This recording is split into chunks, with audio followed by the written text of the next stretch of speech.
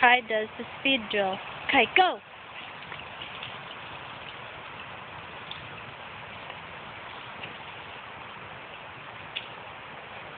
Good boy.